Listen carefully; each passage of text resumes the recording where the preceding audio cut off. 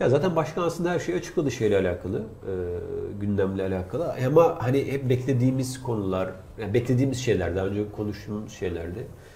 E, işte Rossi'ye çok teklif var. E, kimle ilgili durumun kalması kolay olmadığına dair onda çok teklif var. Sörlot'u istediğini çok söyledi. Bu da önemli. E, 5-6 oyuncu. Burada sadece şu bence avantajlı gibi duruyor. İsmail Hoca ile Jorge Jesus'un büyük ihtimalle kesiştiği ortak noktaları belli oyuncular var. Yani hani bir rapor verilmiş şu oyuncular Hmm. gitsin, bu oyuncular gelsin gibi. İki buçuk aydır izliyor dedi zaten. Evet, evet, iki buçuk O aydır zaman izliyor. Jesus'tan da bir Evet. rapor alınmış. Tabii tabii yani hani e, zaten Jesus raporu e, olacak ayrı da söylemeye çalıştığım şu. e, bu iki raporla alakalı ortak isimler söz konusu. Benim anladığım ve aldığım bilgiler çerçevesi. Mesela kalması gereken isimler Altay, Kim, işte İrfan, Mert Hakan, Ferdi, Osay, Zayt, Crespo, Arda zaten söylemiyorum. Serdar, Pelkas, Serdar Dursun, Salahi ve Rossi şeklinde bu oyuncular e, Son 10 haftanın oyuncuları Evet, aslında. Klasik yani bu oyuncular yani. gelecek senin de omurgasını oluşturacak ama doğrudan ilk 11'e 4 ya da 5 isim de e, kaliteyi artıracak isimler de e, takviye edilecek. E, benim anladığım şu, e, İsmail Hoca'nın kurduğu düzen 4-2-3-1 ve bu oyun tarzı mutlaka birkaç değişik olsa da marjinal bir değişiklik olmadan, çok büyük bir kafa karışıklığı olmadan Jesus'un da kendi yeteneklerini, kendi katkılarını yapacağı bir e, sentez ortaya çıkacak diye düşünüyorum ben. Dolayısıyla Sörlot olmazsa olmaz, golcü olmazsa olmaz. Sol bek e, Eren bence olma ihtimali var. Çünkü bildiğim kadarıyla gelmek istiyor. E, stoper duymadım. Orta saha ve sol ön Rossi'nin yerine hani Rossi kalması yönünde tabii bir rapor olsa da e, çok talibi var. Dolayısıyla sol bek, sol ön, orta saha ve golcü transferi Fenerbahçe'nin olmazsa olmazı. Ne kadar iyi transfer yaparsa buraya, ne kadar kaliteli transfer yaparsa mevcut sistem daha iyi işler diye e, düşünüyorum. Artık dün de herhalde Sörlot'u açıkla, e, Jesus açıkladı diyebiliriz. Tabii tabii. Pazartesi Aynen. bekliyorum ben resmi olarak zaten. Yani Onu e, aldık. ben hani 4 Haziran'da Mali Genel Kurulu var. Ona kadar açıklanır diye söylenmişti. Başkan zaten söyledi. E, sonuçta başkan garantiye gitti. Yani Doğru Başka olanı yaptı. şansı da yoktu ya bence. Doğru olanı yaptı bence de yani. Artık risk alacak o, o e, Evet, hakka evet, ve evet, e, evet, şansı evet. sahip değildi yani. Bu da onun bence Ali Koç'un son şansı Evet, yani. Karagümrük maçının son 10 Son dakikası yani siz de şey gösterdi e, yani. başkan olsanız Jesus'a devam edersiniz. ben alırdım De, o kararı. Jesus'u getirirsiniz. Ben getirirdim Jesus'u. Ben şöyle para tabii mevzu bahis olunca e, işte 5 milyon, 6 milyon, 7 milyon maaşlar ama paradan bağımsız Onu düşünecek zamanı yok Ali Bey. paradan bağımsız İlk yıl olsa olur da şimdi yok ya. Onu verecek artık yani. Yapacak bir şey Keşke yok. başta verseydi. Tabii aynen onu diyecektim. İlk geldiği gün Ya hoş verseydi. ver- verdi de aslında yani. Yok. Kokuya, kokuya tazminat ödedi. Ta- PSV'ye Aynen. tazminat ödedi. İşte bu şeye benzedi. Bak Yani Galatasaray'ın 500 bin euro için Gomis'ten vazgeçip 50 milyon euro harcamasına yanlış benzedi. hatırlamıyorsam şimdi böyle bazen 2 milyon küsür euro maaşı vardı. İşte 2 yıllık minimum anlaşma yapsa 2-4. Tabii tabii. Tazminat verdim PSV'ye. Zaten yıllık.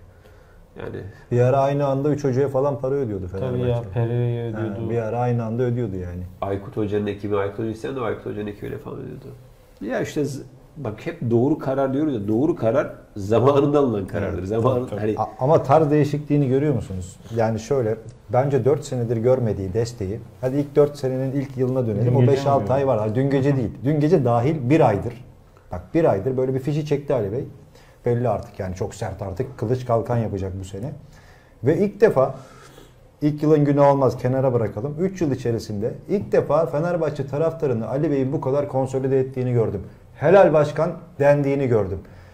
Biraz tarz değişikliğine, makas değişikliğine gidecek gibi geliyor bana Ali Bey. O son bir aydaki çıkışları biraz Fenerbahçe taraftarı... ya hoca da genelde taraftarın istediği şekilde olacak. Tam İsmail Hoca kalsın diyen de çok var. Hani genelde Jesus daha ağır basıyor benim e, gördüğüm kadarıyla. Artık bu saatten sonra bu kadronun da e, sonuç almasını e, bekleyecek Sayın Başkan Fenerbahçe taraftarı. Ben de açıkçası Jesus yani şey tabii işin heyecan kısmı var. Ben de heyecan yani şey oldum. Hoşuma yani heyecanlanıyorum bakayım ne yapacak, ne edecek. O biraz böyle kulübede ateşli de bir teknik adam. İşte bir yandan işte Cardozo'lu dönemi vardı Benfica'da. Acaba Sörloth geldiğinde Cardozo etkisi yapar mı? Hani ikisi fiziksel olarak benzer özellikleri e, olduğu için. Doğru olanı yaptı ya başkan. Yani Fenerbahçe'nin Değil mi? bu heyecanı böyle bu klasta bir teknik adamla çalışması gerekiyordu yani Ya. artık 8 sene 9. se- e, sezona giriyoruz. Şöyle e, 40 bin taraftar ortalama olsun. Jorge Jesus hoca da Pereira gibi macera aramadığı takdirde zaten sonuna kadar bence Fenerbahçe yarışın içinde olur. Şampiyonlar olmaz o başka bir şey Evet. ama hani bu takımın genetiğiyle, DNA'sıyla o sağ stoper, bu sol stoper, o geçen maç o sol stoper, bu sağ stoper, o, o orta sahanın sağında falan. Karman, çorman ne oynandığı belli olmayan. Bak bunu oynatırsın ama oynatana kadar da çok canın yanar yani. Çok canı yandı Fenerbahçe. Evet. Tabii tabii. Oyuncu kadron yok. Ona göre oyuncu kadron yok. Onu oraya ekle, bunu buraya ekle. Ee, dolayısıyla Fenerbahçe ile ilgili durum bu. Ya Beşiktaş'ın e, Şeyi sorayım ben sadece. sor kardeşim. Merakımdan soruyorum. Mesut sence kalır mı gider mi Senat? Tahminin, öngörün ne diyor? Mesut şimdi Endonezya'da. Hı hı. Evet bugün bir paylaşım yapmış. Mesut şimdi Endonezya'da. Şimdi ben kalmak istediğimi çok net biliyorum. Ama şöyle şeyler var. Bazen transferler son güne kadar e, çözülür. Niye? Mesela Sinan Gümüş. Hı. Ne beklendi? Sinan Gümüş. Tamam ben futbol oynamak istiyorum deyip gidecekti. Gitsin. Olmadı mesela. Şimdi daha çok erken. Yani normal bugün itibariyle eee, ben kalma ihtimali çok yüksek olduğunu düşünüyorum. Ama Jorge Jesus gelir düşünmez. Başkan der ki istemiyoruz. Çünkü Mesut'un da markası zarar görmeye başladı. Sen bugün Endonezya'ya, işte Malezya'ya, işte neyse gidiyorsan futbolcu Mesut olarak gidiyor, gidiyorsun. Hala bir markan var. Oynamadığın takdirde senin oradaki etkin de azalacak. Yani Mesut şunu göze alabilir mi acaba? Ben bir sene daha hani yarım sezonda oynamazsam bu göze alabilir mi? O onun vereceği karar. Ama benim edindiğim izlenim Mesut'un maaşından ya da Mesut'la alakalı e, beklentinin çok fazla olmadığı ve ilk tercihinin yolların ayrılması yönünde olduğu. Fenerbahçe yönetimi. Ama Mesut der ki hayır kardeşim ben buradayım. Düzenini kurdum gitmiyorum. O biraz şey e, Tabii. masada belki belli olacak. Hayırlısı olsun. Ben açıkçası şahsen gönlümden geçen Mesut'un kalması.